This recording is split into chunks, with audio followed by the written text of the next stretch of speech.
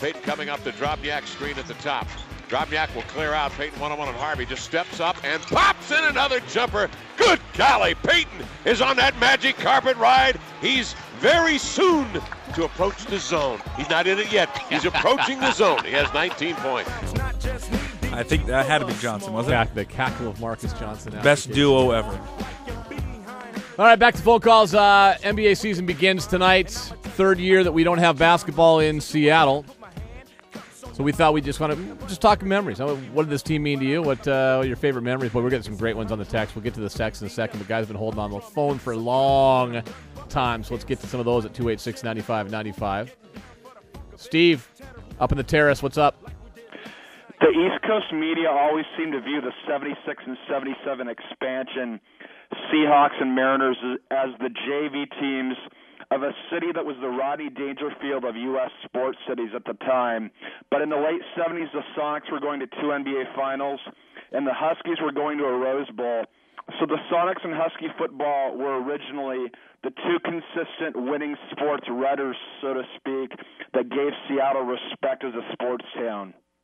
I'm with you. I'm with you. Uh, you know, and there was, you know, there was a soundbite we found last night, and we should probably try to find it and put it back up on the on on, on the website. Yeah, George Karl. You, Josh has it. We'll put it up on the website. It's a great reference. Do you have it right now? Here's George Karl. This is after Game Seven. He mentioned in, in the late '70s. How about what a year we had between '95 and '96? Utah battled us every game, and I'm just I'm just excited for my team, for our players. And a lot of a lot of stuff has been said about it in this city that's not true.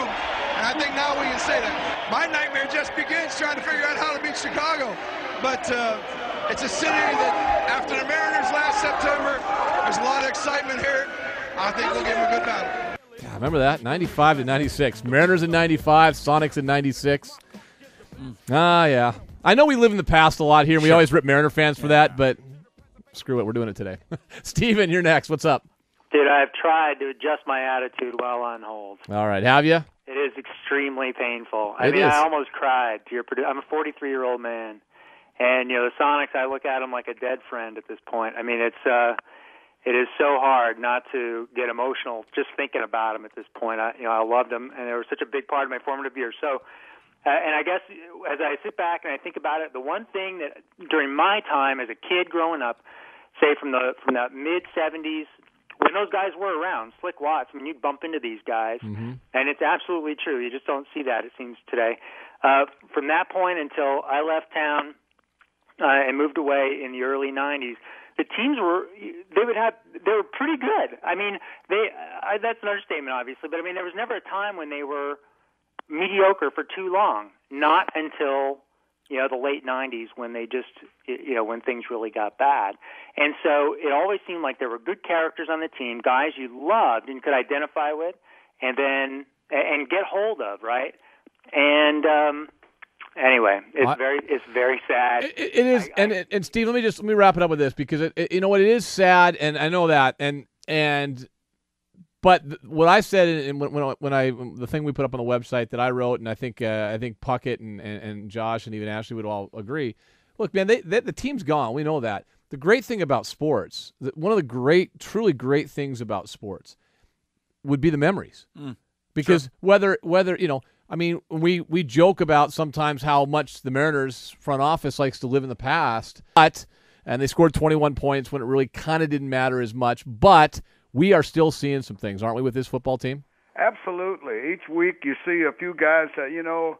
Just a couple of weeks ago, you see Kafusi coming out of the you know out of the shell, and so to speak, or into our knowledge, and and uh, we've seen Mizell. Now the two of those young men are playing lights out, and uh, there it's just Lorenzi's starting to play a much better than we probably give him credit for on the radio, and and there's just a lot of little things going on that. Uh, that tell me that good things are coming, and and I will hold to that because I think I I truly believe, and I'll be so egotistical as to say this, guys, that I I think I know good football players when I see them, and I'm seeing a lot of young, good football players that are getting old fast, and that's what we need. And and and I looked at that Stanford group Saturday, and God, they're so big and strong and understand what they're doing. And you know, you look across that line, they were 300 pounders, five of them, and two big tight ends. And we're just not physically capable yet to to take on a team that that was that strong. But we are getting better in so many ways, and you just keep watching Wilson and